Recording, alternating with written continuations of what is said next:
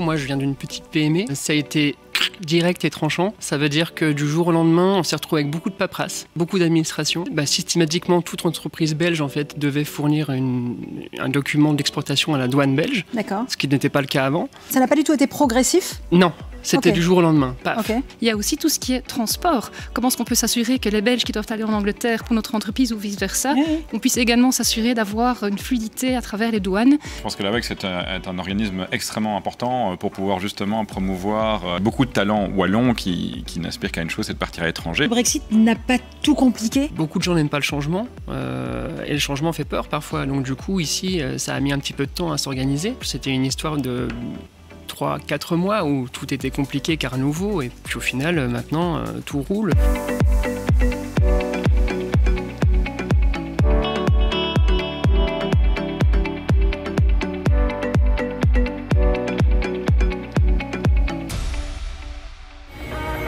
Bonjour à toutes et à tous, on saura tout sur l'exportation de nos talents wallons. La thématique est lancée. Aujourd'hui, focus sur le Brexit, comment la WEC soutient les entreprises wallonnes dans leur démarche de prospection et d'exportation au Royaume-Uni? Quel a été et quel est encore l'impact du Brexit sur les relations commerciales entre la Wallonie et le Royaume-Uni?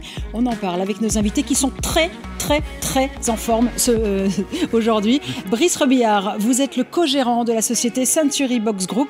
Merci d'être avec nous euh, sur ce plateau. C'est une première en télévision? C'est une première. eh bien, on va fêter ça ensemble. Très bien. Euh, Baudouin de Hemtine, vous êtes conseiller économique et commercial de la WEX à Londres. Exact. Vous allez bien? Mais en pleine forme. Oui. je vous remercie. Vous n'avez pas un petit accent, une petite pointe d'accent british comme ça Ah, traîne j'aimerais, j'aimerais, Ouais, j'aimerais. on y travaille. oui. Elisabeth Vindam, vous êtes à mes côtés. Vous êtes la directrice de la communication externe des affaires gouvernementales chez GSK, une société anglaise. Tout à fait, nous sommes anglais. Allez, on en parle dans quelques instants avec vous. Et Maxime Parmentier, qui normalement est à Londres. Vous êtes le CEO de la société Birdie euh, au Royaume-Uni. Euh, heureux et fier de l'être. Très heureux et très fier de l'être. Allez, on est ravis de vous accueillir en tout cas sur ce plateau. On rejoindra un Skype dans quelques instants. Merci, chers téléspectateurs, de suivre cette semaine qui s'annonce vraiment euh, passionnante. On a commencé il y a déjà deux jours. On continue aujourd'hui et on s'attarde sur le Brexit. Euh, Peut-être un petit tour de table euh, ensemble avant de rentrer dans le vif du sujet de vos, de vos activités respectives. Quel a été l'impact du Brexit sur les relations commerciales entre la Wallonie et le Royaume-Uni? Brice Alors à mon niveau, moi je viens d'une petite PME. Oui. Euh, ça a été direct et tranchant. Ça veut dire que du jour au lendemain, on s'est retrouvé avec beaucoup de paperasse, beaucoup d'administration. Ok. Parce que euh, bah, systématiquement, toute entreprise belge en fait devait fournir une- un document d'exportation à la douane belge, D'accord. ce qui n'était pas le cas avant. Ça n'a pas du tout été progressif? Non, c'était du jour au lendemain. Paf. Et alors, en fait, ce qui est très bizarre, et c'est là où le mot est juste, c'est qu'on aurait aimé une progression, ce qui fait que du jour au lendemain, on n'avait pas les documents. Donc tout a été bloqué. Ah oui. On s'est retrouvé avec les palettes bloquées euh, au, au Mans, à Lille, etc. Et, euh, et concrètement, c'était compliqué parce qu'on s'est retrouvé euh, où personne ne savait quoi faire, même les transporteurs en fait. Parce qu'il y a eu très peu de communication, ou comme d'habitude, il y a eu de la communication, mais je crois que le, le truc sur le Brexit faisait 1200 pages de mémoire, je crois, c'était euh, costaud. Et euh, bah, au final, petit à petit, on a commencé à avoir des pistes et ça, on a appris comment faire, mais ça a mis du temps. Ouais. Clairement, ça a mis du temps et je pense que ça en a refroidi beaucoup qui ont fermé les robinets du jour au lendemain bah, en se disant bah, c'est trop compliqué, c'est trop de paperasse. Ouais. On va revenir hein, sur votre activité dans quelques instants. Baudouin. Bah, je dirais d'abord, le Brexit, c'est deux choses. Le Brexit, euh, c'est- d'abord un événement politique 2016 dont on ne parle plus, c'est devenu tabou à Londres.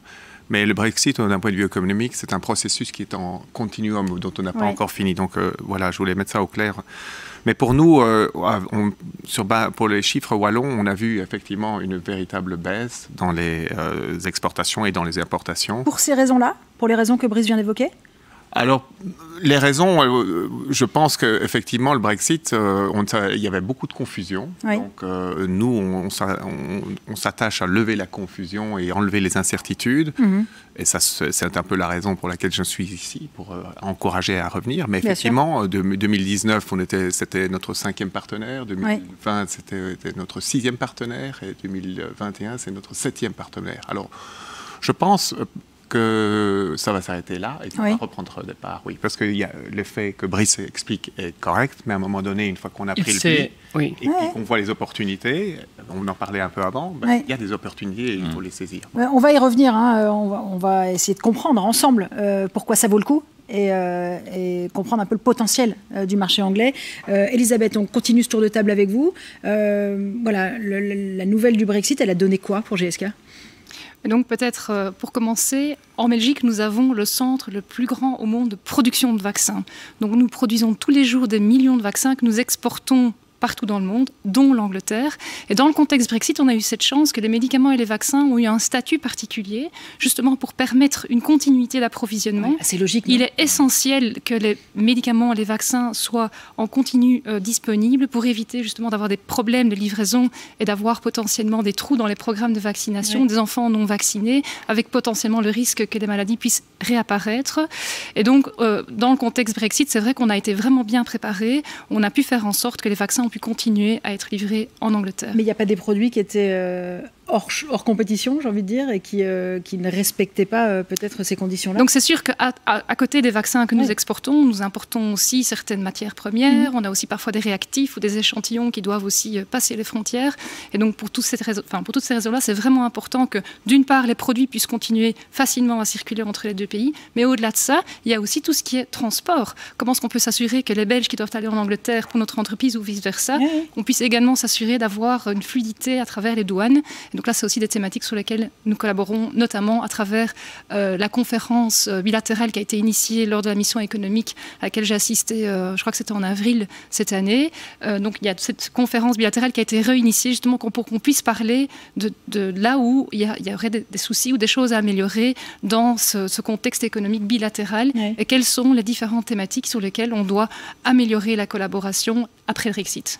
Maxime, je ne sais pas si vous êtes concerné par cette question, parce que vous, vous avez fait le choix de vivre là-bas, de développer votre business là-bas. Absolument.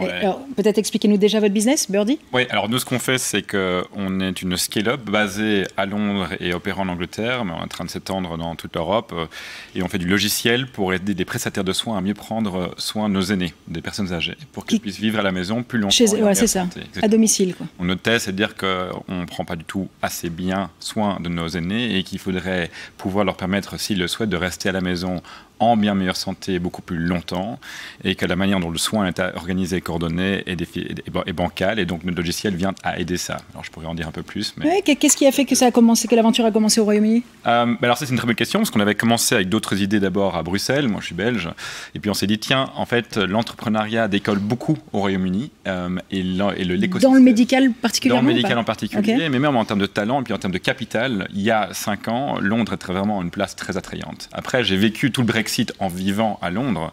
Et c'est sûr qu'on a vu euh, toutes les barrières qui sont imposées. Moi, vivant là-bas en tant que Belge, il y a énormément de contraintes supplémentaires qu'il n'y avait pas avant. C'est vrai? Oui, énormément. et puis, quoi, bah, typiquement... Paperasse, quoi. Paperasse, importation de biens, euh, un ensemble de problèmes. Lorsque vous achetez quelque chose sur Amazon de, la Belgique, ça coûte beaucoup plus cher aux douanes.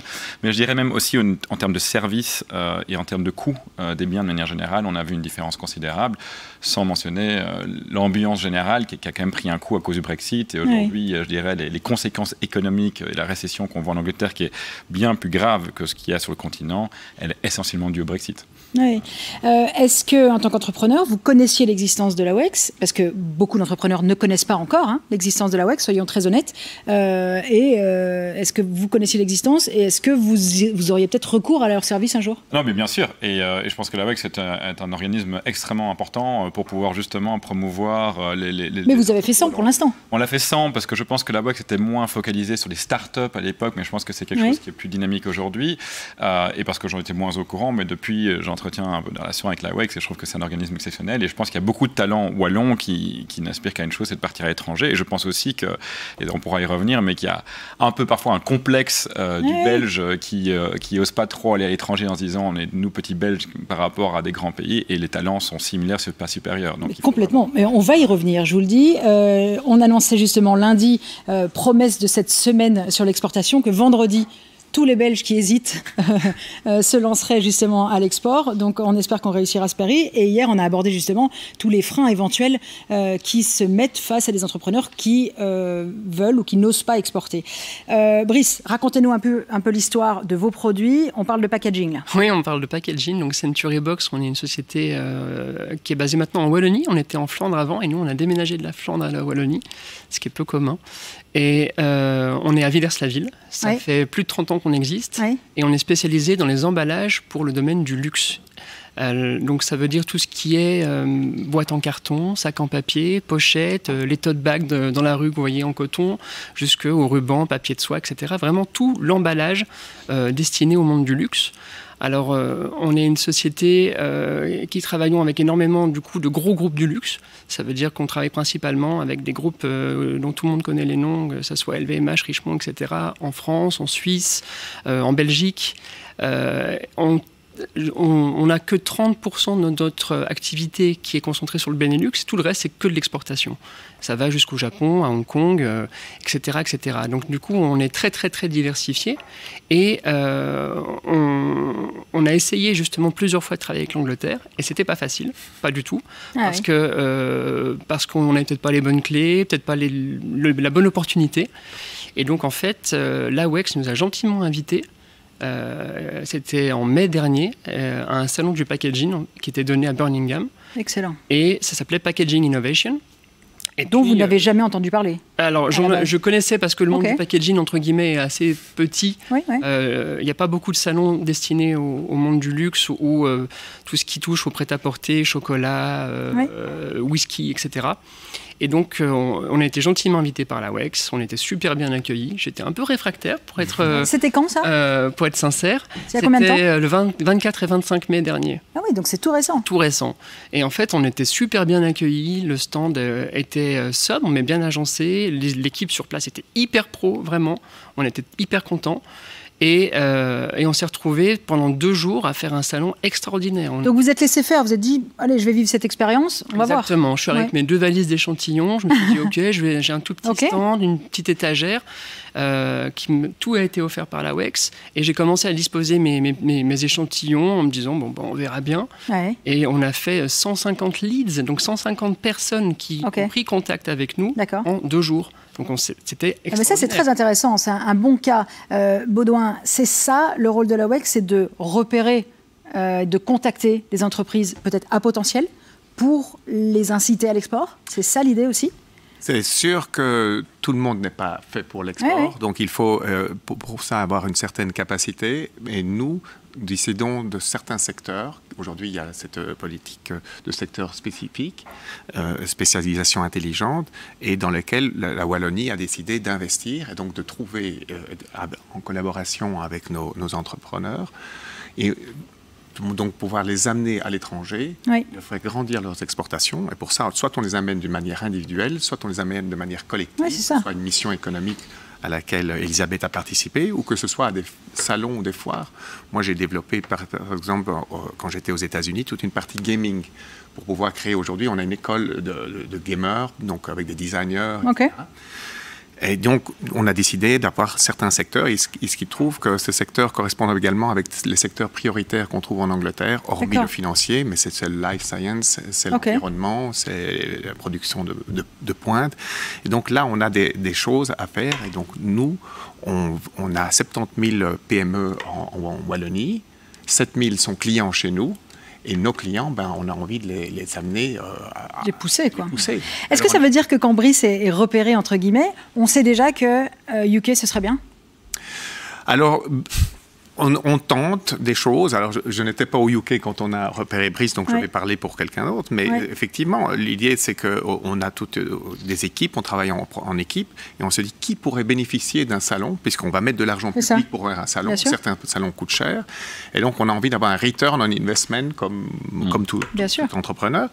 Et donc, euh, là, on voit quelqu'un qui a, euh, Brice, qui a évidemment du potentiel. Et effectivement, c'est parfois difficile de, de convaincre nos entrepreneurs et je, vais vous raconter, euh, aux États-Unis, j'ai dû en pousser dans l'avion parce que c'était long, c'était pas de l'avion, dans l'avion pour qu'ils viennent. Oui, mais comme vous venez de le raconter, cette expérience. Euh, parce que et là, euh, est-ce que c'est un déficit d'image? Parce que, euh, honnêtement, bah on travaille quand même beaucoup. J'avais vraiment l'idée que ça allait être, pardon, mais un peu pompeux, un peu officiel et tout. Je me suis dit, mais dans, une, pour le business, être avec plein de gens mélangés, parce que c'était un stand partagé avec quatre autres sociétés euh, belges, je me suis dit, mais est-ce que ça va être intéressant ou pas? Et au final, c'était pas du tout l'image que j'en avais. C'était ah, hyper dynamique. Ça, c'est la belle surprise. C'est la belle surprise. la belle surprise. Et donc, ça veut dire que le Brexit n'a pas tout compliqué, Brice?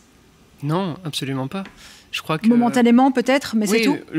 C'était une histoire quand, quand j'ai cité le premier exemple, c'était une histoire de 3, 4 mois où tout était compliqué car nouveau et puis euh, et beaucoup de gens n'aiment pas le changement euh, et le changement fait peur parfois donc du coup ici euh, ça a mis un petit peu de temps à s'organiser puis au final maintenant tout roule.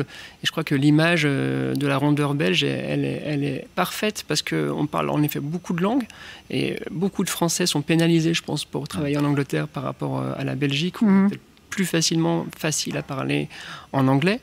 Et, euh, et, il faut aussi pas oublier que tout comme la Belgique, l'Angleterre, il y a un, melting pot, melting pot pardon, culturel énorme. Il y a énormément d'Indiens, énormément d'Arabes, énormément. C'est complètement cosmopolite. Et ces gens sont également immigrés et puis parlent un anglais parfois qui peut être euh, un petit peu bancal. Et il y a une proximité tout de suite qui se crée parce que nous, on a cet esprit euh, ouvert et ça fonctionne.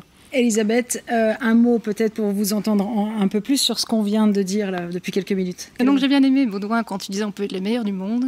Et on a cette chance qu'en Belgique, on a pu évoluer avec un écosystème, notamment grâce à des collaborations qu'on a avec la WEX. Évidemment, notre euh, expérience, notre est très différente par rapport à, d'autres, puisque nous sommes une multinationale. C'est ça. Donc là où on collabore beaucoup avec la WEC, c'est là où on a des soucis, surtout en dehors de l'Union européenne, quand on exporte nos vaccins. Et qu'on peut avoir parfois des exigences un peu particulières de certains pays, comme je cite par exemple le Vietnam ou, d'autres pays. Ça. Euh, alors on sait qu'on peut toujours compter sur un conseiller économique qui vit sur place et qui peut nous aider à débloquer une situation quand on a des vaccins ou des réactifs qui sont bloqués aux douanes, etc. D'une part. Et d'autre part, la WEX nous aide également pour mettre en valeur le, biopharma en Belgique. Typiquement, quand on était présent lors de la mission économique, que ce soit en mmh. Angleterre, aux États-Unis, on a pu aussi, quelque part, présenter le secteur dans son ensemble, puisque souvent le Belge est modeste et ne se rend pas compte, mais on a cette chance incroyable d'avoir plusieurs sociétés pharmaceutiques vraiment très très présentes. En Wallonie, GSK est le premier exportateur. On représente plus de 10% euh, des exportations grâce aux vaccins qu'on produit tous les jours en Belgique et c'est vraiment une fierté. Et on ne doit pas avoir peur de le dire à l'étranger également. Hein, cette euh, humilité maladive belge. Exact. Hein. on en parle. Ça mériterait une semaine spéciale d'ailleurs. Absolument. Pas on est les entrepreneurs en particulier, les entrepreneurs en technologie, on le voit tous les jours. C'est hallucinant. Il y, a, vraiment un écosystème belge mais qui est tellement propice à l'entrepreneuriat, surtout en technologie. Et il y a encore cette espèce de complexe inférieur. Mais ça vient d'où? Ça vient de, quoi? De la, Lors de la petite enfance non, il se passe un truc? Moi, je, disais tu ne connais pas l'histoire du poisson rouge. Le poisson rouge, il prend la taille de son bocal. Alors, tu mets un poisson rouge dans, dans le verre d'eau, il sera tout petit, petit. Mais un plus grand, un moyen, il deviendra moyen. Tu prends un grand, comme les États-Unis, il deviendra très grand. Et en fait, il faut parvenir à sortir de cette logique. Et si je ne viens pas d'un petit pays, et penser peut-être Europe, penser qu'on peut aimer. Il y a des gens. Et en fait, tu vois, Soyez ambitieux. qu'on appelle euh, oui, soyez ambitieux, sachant la problématique qui est structurelle, puisque nous sommes dans un pays qui est petit, et donc bah, tu es amené à penser petit, mais non, il faut penser monde. Allez, sur l'anecdote du poisson rouge, on va partir en pub. poisson. à méditer pendant la pub, on se retrouve dans une minute. À tout de suite. Qu'est-ce qu'on dit euh, aujourd'hui aux entrepreneurs qui nous regardent euh, Vous avez vécu différentes expériences. quels sont les conseils qu'on peut donner aujourd'hui pour rentrer sur le marché euh, anglais? Brice, peut-être, vous pouvez nous, nous aiguiller, puisque c'est assez récent pour vous, donc c'est intéressant de voir un peu qu'est-ce qui vous a permis d'oser. des regrets aujourd'hui déjà Non. Non, pas de regrets. Century Box, on a 30 ans d'âge, donc on est une vieille société, mais c'est vrai que l'Angleterre, c'est assez nouveau. Moi, le seul conseil que j'ai envie de dire, c'est qu'il faut se diversifier dans tout. Il ne faut pas avoir peur de se diversifier. Aujourd'hui, c'est la clé de la succès pour tout, que ce soit une diversification de clients, que de fournisseurs, que de, que de collaborateurs, c'est la clé du, succès. Ça n'a pas toujours été le cas? Vous avez l'air d'en parler comme si c'était important aujourd'hui dans notre euh, société? Non, je pense que justement, c'est ce qui nous a sauvés, nous, Century Box, euh, pendant la, crise du Covid et autres. C'est que le fait qu'on soit justement pas focalisé que en Belgique, quand un pays était fermé comme la Belgique, un autre était ouvert, et etc. etc. Et, ça a pu faire une espèce comme ça de, de, de, de chaise tournante, et on a pu toujours vendre et toujours donner, et toujours donner des devis à chaque pays qui, un était fermé, Oui, il y en a toujours un qui allait bien. Et je crois que c'est la clé du succès. Et l'Angleterre, il faut euh, est hyper demandeur. Moi, je, je suis euh, tous les jours euh, admiratif du dynamisme anglais. Je, trouve qu'ils sont plus dynamisme que, que, les Belges, et ça, je crois qu'on a beaucoup de, de, leçons à tirer d'eux, parce qu'ils ont, ils ont, ils ont, ils ont la niaque. Et, je, crois que euh, ça fait du bien parfois de voir aussi l'Angleterre et d'être parmi eux. C'est communicatif ou pas? C'est complètement. Une fois qu'on est là-bas, on a envie de, faire beaucoup de choses. Excellent. Maxime, vous êtes d'accord ah avec oui, ça? tellement. Moi, je mets un pied. C'est ça, cette énergie. C'est cette énergie. non, mais c'est ça. Oui, c'est ça qui vient de chez moi. C'est pas du tout. Euh, mes parents, c'est Londres. Non, non, mais je pense que c'est vrai. Moi, j'ai quelque chose où je revis en partie, en tout cas au niveau de mon métier, quand j'arrive à la gare de St. Pancras International, quand j'arrive là en prenant l'Eurostar, on sent déjà dans la gare le dynamisme, l'entrepreneuriat, le positivisme de l'Angleterre. Et c'est contagieux. Et c'est ça qui, moi, m'a donné vraiment l'envie de, de, continuer, d'avancer. Et il y a beaucoup moins cette aversion au risque. Et il y a beaucoup moins ouais, cette peur de, de, de, rater. Mais il y a aussi tout le temps cette, cette approche positive et, euh, et, entrepreneuriale aux choses en disant bah, on va essayer, puis ça marche pas, ça marche pas. Et ça, j'adore. Toujours retourner positivement la situation aussi. Quoi. Exactement. De dire bah, il n'y a qu'à essayer, on verra bien. Si ça marche pas, c'est pas grave, on aura essayé. Et donc, quand on parle avec des, avec des fondateurs d'entreprise, quand on parle avec des, des politiques aussi, il y a toujours cette, cette, cette intention de, de, créer, de construire, de tenter que j'aime beaucoup et qui, moi, me mobilise beaucoup. Ok. Vous vivez là-bas? Je vis là-bas. Donc là, on a complètement la chance de vous avoir sur ce plateau. Vous deviez être en Skype. Exactement. À, la base. Mais je viens très régulièrement en Belgique, notamment pour essayer, on a créé euh, plusieurs euh, groupes, dont des, syndicats, des, réseaux d'entrepreneurs, pour essayer justement de, promouvoir le talent belge à l'étranger, mais aussi pour donner confiance à des entrepreneurs belges en leur disant, mm. il y a tout à fait moyen euh, et on a un talent C'est possible. C'est possible. Et c'est une question de confiance en soi et, et aussi de réseau, c'est-à-dire d'avoir un environnement, un écosystème qui pousse vraiment à l'entrepreneuriat, ce qu'on a un peu manqué en Wallonie. Ok, Elisabeth, euh, quel est le message que vous feriez passer d'une multinationale où, vous, évoluez euh, vers euh, justement un entrepreneur qui nous regarde? Quelle est la partie de, de votre message qui pourrait lui, lui correspondre? Qu'est-ce qu'il faut Je pense qu'il faut toujours y croire. Il faut quelque part parce qu'on parlait aussi de, l'exportation des talents, mais nous on importe des talents. Et donc c'est aussi important de, de ne pas avoir effectivement cette mentalité plutôt modeste et de se dire voir grand, être ambitieux, vouloir, vouloir y arriver, quitte à ce qu'on ait un échec, mais parfois l'échec permet de mieux réussir par après, donc on peut apprendre aussi des échecs.